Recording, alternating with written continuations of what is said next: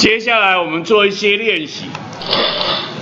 这一题，请问你 A、B、C 珠的 P 点的磁场强度谁大谁小？C 大于大于 A 大于你公上 C 大于大于 A 大于 B 大于猪大于 A，C 大于 G 大于 A 大于 B 啦。C 猪 A B，你 know？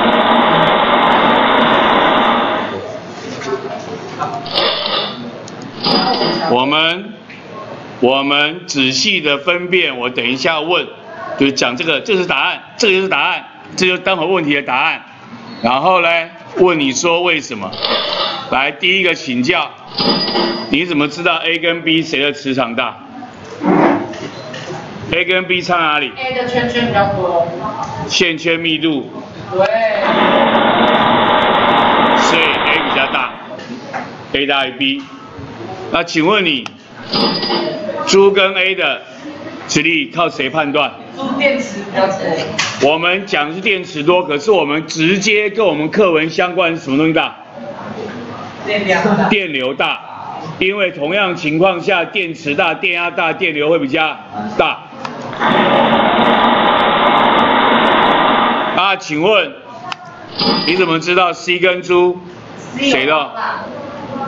有靠谁判断 C 猪谁的？有铁心。有软铁棒，有软铁棒的磁力会比较大。就是我刚我刚刚跟你讲的，就是这三个答案，这三个答案，这三个原因，我就知道答案是 C 大于猪大于 A 大于 B，OK 吗？OK。来，请问你，我用气包线绕，然后做个电磁铁，我想要增强，哪个方法是无效的？哪个方法是无效的？没有用的。猪。猪是无效的。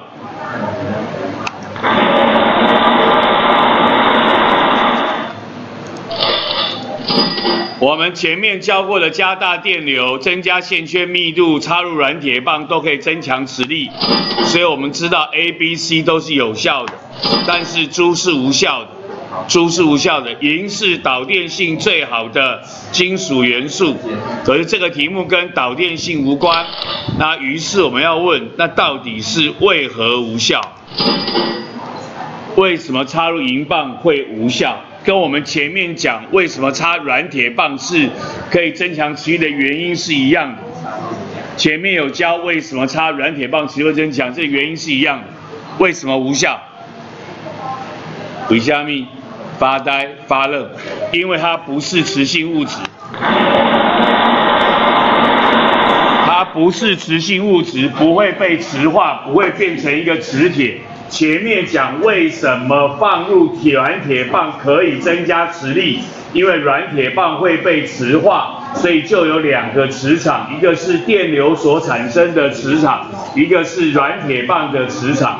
这个是银棒，不是磁性物质，它不会被磁化，所以不会再多出一个磁场，因此我的磁力强度不会增加。这就是我们做的两个简单的小练习。